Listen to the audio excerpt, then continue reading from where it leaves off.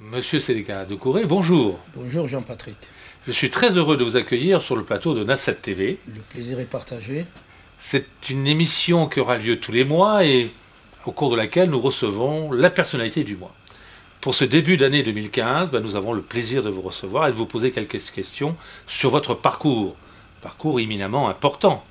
Vous êtes président de l'UDR, Union pour la diversité républicaine, je dirais l'émanation un petit peu de l'UMP, vous allez y revenir dessus, membre du Conseil économique et social du Mali, vous êtes membre de l'autorité, parce que je ne veux pas dire de choses, euh, de l'autorité malienne de régulation des télécommunications et postes. Et vous avez aussi, euh, et vous êtes en charge de la coopération internationale de l'Union patronale, Conseil national de l'agriculture, du commerce, de l'industrie, des services et de l'artisanat du Mali. Mais vous devez avoir un emploi du temps hyper chargé, Monsieur le Président. Oui, bonjour euh, Jean-Patrick. D'abord, c'est un plaisir particulier pour moi.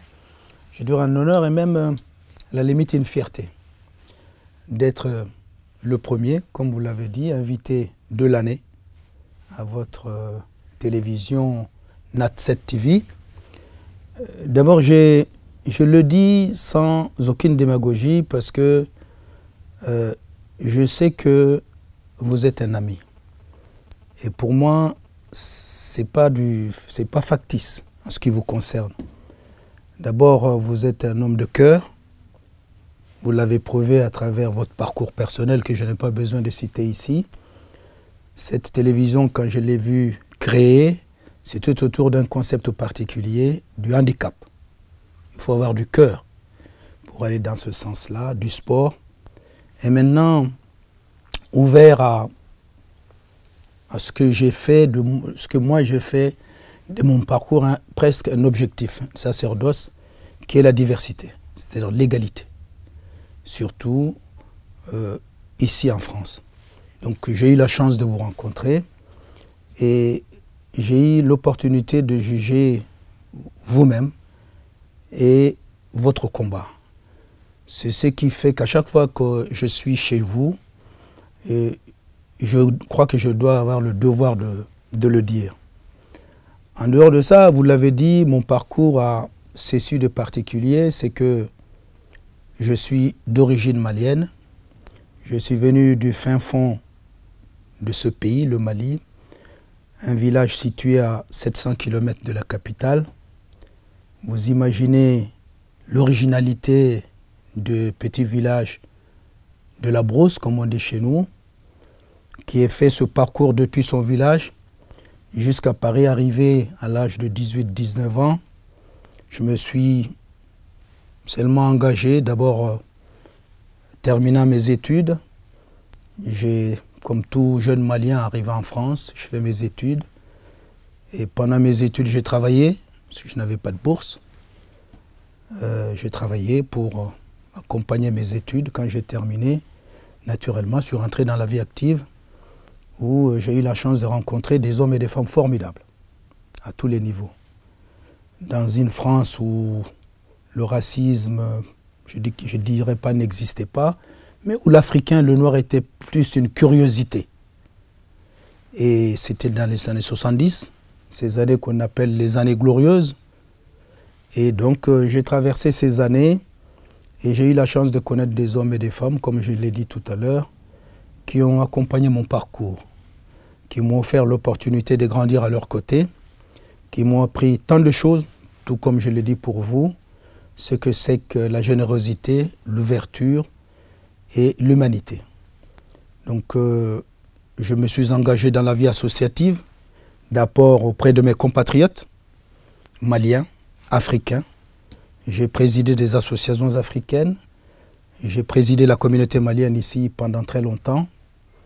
Ensuite, euh, comme personne n'est parfait, je me suis engagé dans la politique également, grâce à, ces hommes, à ces femmes que, j'ai eu la chance de connaître.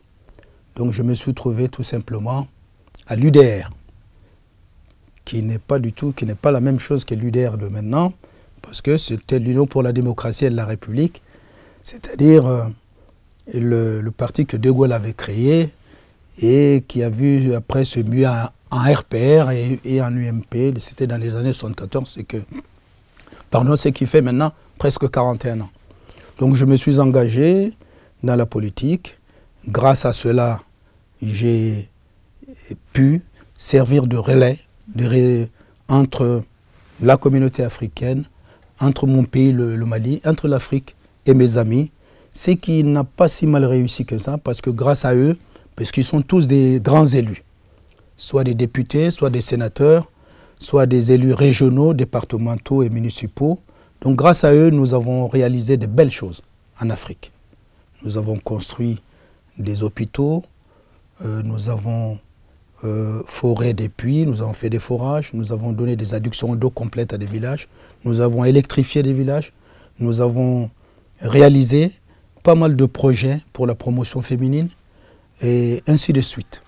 Donc ce qui fait que ce parcours, au bout de 40 ans d'activité, je suis fier de dire que je peux me retirer tranquillement, mais je pense que j'ai encore quelques années à faire parce qu'il faut que, pour que ce parcours soit un parcours parfait, il faut que ces hommes et ces femmes, ces jeunes filles et ces jeunes garçons que j'ai formés euh, prennent le relais. Beaucoup ont pris le relais parce qu'au jour d'aujourd'hui, beaucoup sont des élus municipaux, des maires, des, maires adjoints, des maires même, des maires adjoints, des conseils régionaux, et bientôt, en tout cas c'est l'espoir que je nourris, des députés à l'Assemblée nationale, des députés européens et euh, des, sénateurs. Voilà si je peux dire. Alors comme vous avez dit, ce parcours m'a valu d'être respecté, estimé dans ma communauté et m'a valu, euh, il y a cinq ans, lorsqu'il fallait désigner quelqu'un pour représenter la diaspora malienne au Conseil économique, social et culturel, ce qui est constitutionnel au Mali, parce que la diaspora a un quota au niveau des différentes institutions. J'ai été celui qui a été désigné pour représenter cette communauté au Conseil économique, social et culturel, ce qui était un couronnement de mon parcours, parce que choisi parmi les miens pour le représenter au Mali, je pense que c'est une fierté moi qui me suis beaucoup donné en France, et j'ai pu retourner pour servir aussi de porte-parole à la diaspora. Et chemin faisant, naturellement, le pays me découvrant, découvrant ce que je suis, et euh, m'ont également euh, euh, désigné, en tout cas nommé au niveau de l'autorité malienne des régulations. Cette autorité, c'est cette institution qui donne les, qui attribue les fréquences télé, radio, etc. Et euh, il n'y a pas très longtemps, en juillet dernier, j'ai été appelé, coopté par cette union patronale pour m'occuper des relations internationales et de sa coopération.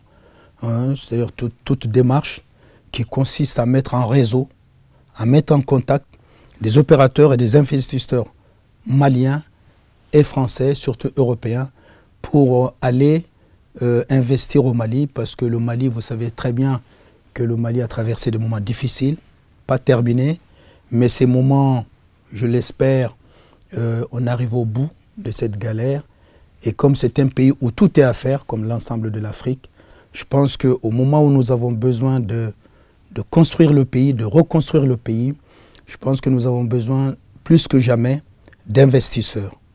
Alors moi qui suis le fruit de ces deux mondes, le monde malien et le monde français, je pense que mon devoir à moi, c'est de promouvoir l'industrie, les, investisseurs français au Mali, c'est que la première, euh, la première euh, communauté, en tout cas le premier pays que je voudrais voir investir au Mali et développer une coopération beaucoup plus fructueuse, c'est la France.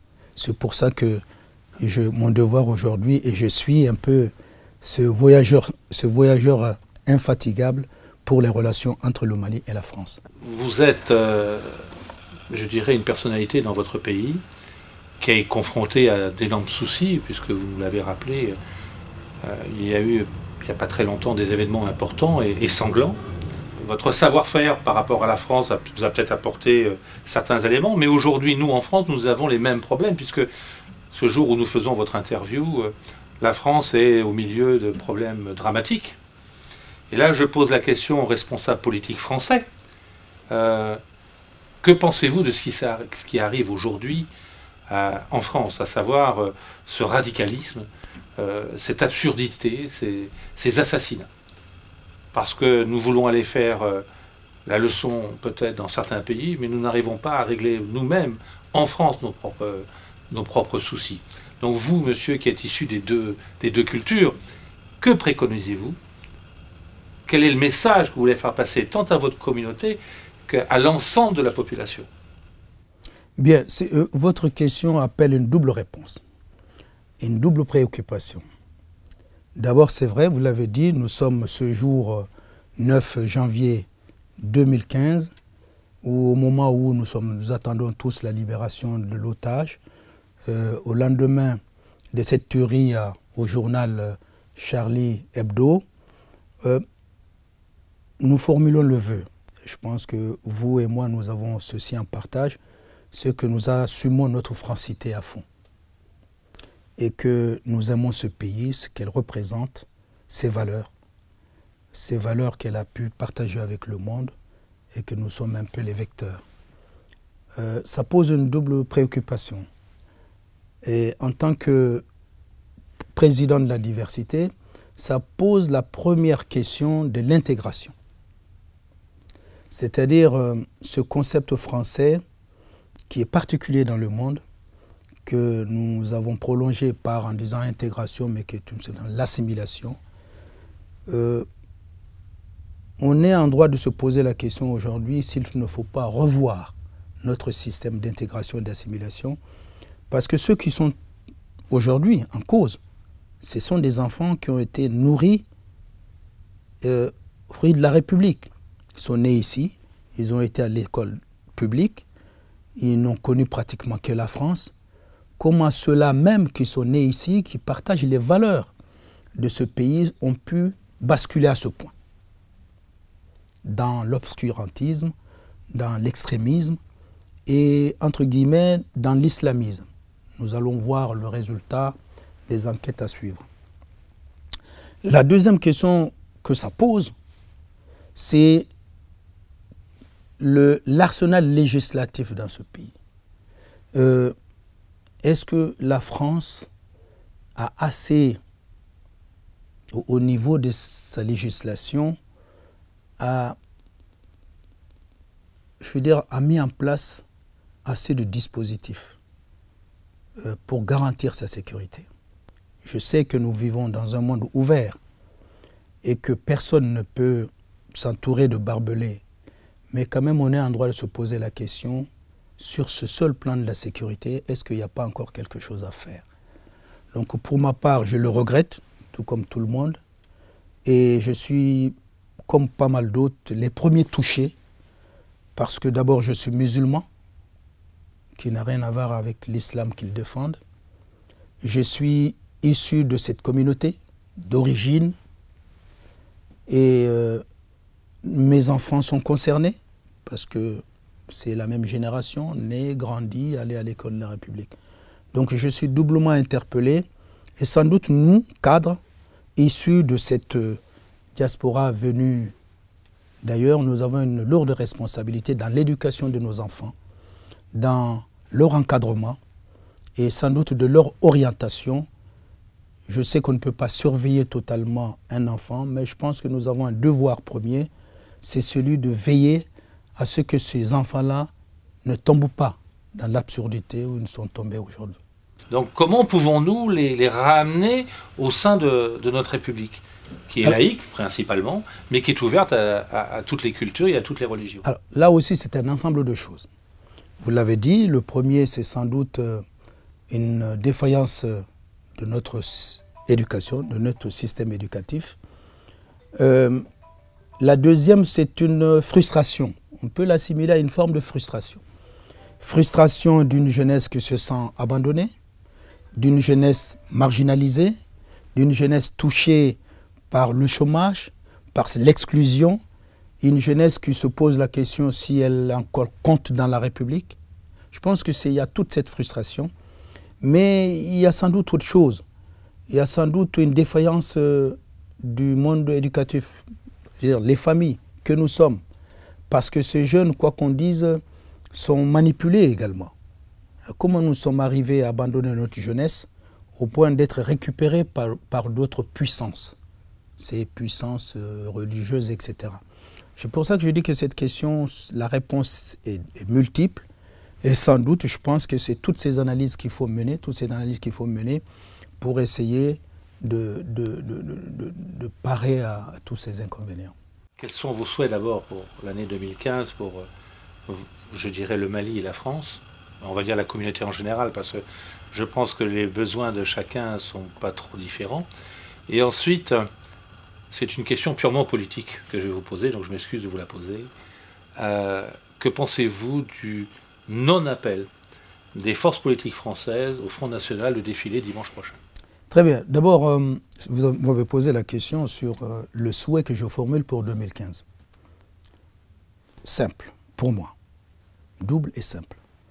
Le premier souhait, c'est que la France, qui vit un moment difficile en ce moment, puisse euh, régler, puisse arriver au bout de ce problème et que après qu'on trouve les solutions pour que plus jamais cela n'arrive.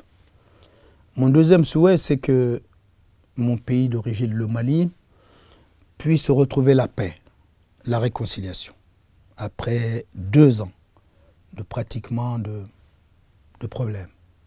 Nous avons connu le problème du Nord, grâce à la France, nous, en sommes à, à peu près sortis.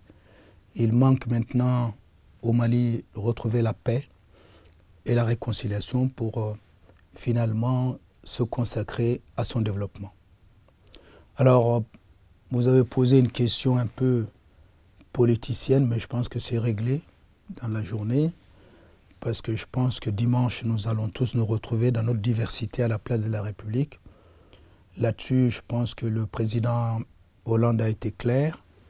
Les forces politiques, euh, mais ça, ça fait partie du jeu politique, dans le ping-pong de ces dernières 24 heures, euh, sont parvenus finalement à trouver un point d'équilibre, c'est que dimanche prochain, nous allons tous nous retrouver à la place de la République pour manifester notre euh, dégoût de ce qui s'est passé et pour qu'ensemble, dans un, rassemblement, dans une union, nous disions euh, plus jamais ça.